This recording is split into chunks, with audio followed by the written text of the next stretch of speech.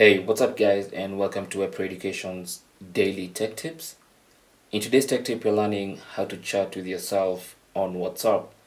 Now, have you ever found yourself in a situation where you need to send someone a WhatsApp message because you want to save a link or a document or even maybe a shopping list that you want saved somewhere in WhatsApp so you can access it later without losing it because WhatsApp will save it in the web and you can access that anytime you want.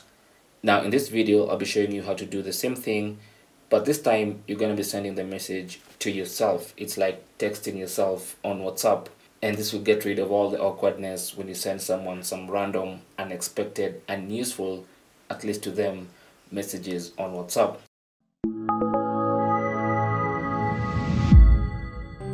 Now I'll be showing you this on mobile because that's where most of us use WhatsApp. But you can do this on WhatsApp web or the desktop application. Now you should have WhatsApp installed and already running on your smartphone. Now, but close WhatsApp first and go to your favorite browser. Now in your browser, you want to type this URL and you want to replace this access with your phone number, like your full phone number. So for mine, it's going to be that address and then I'm going to finish with my full phone number together with my country code make sure you don't forget that country code. It's very very important.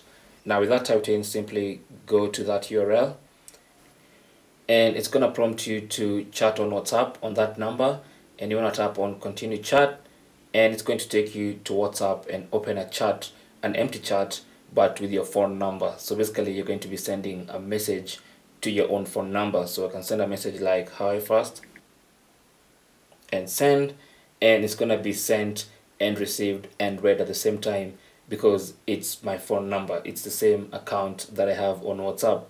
And that's how you can send messages to yourself. Now you can go ahead and send yourself uh, screenshots, images, files, documents, and all that. And they should be kept safe in your WhatsApp account.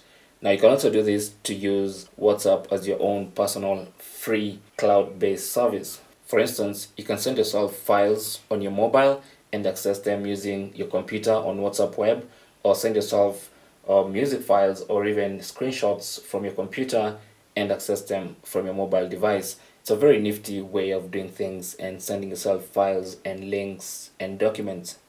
Anyway, that's how to send yourself WhatsApp messages or how to chat with yourself on WhatsApp. Thanks for watching. Leave your comments and questions down below. Don't forget to share and subscribe for more tips. Until the next one, my name is Chris, and I'll talk to you guys soon.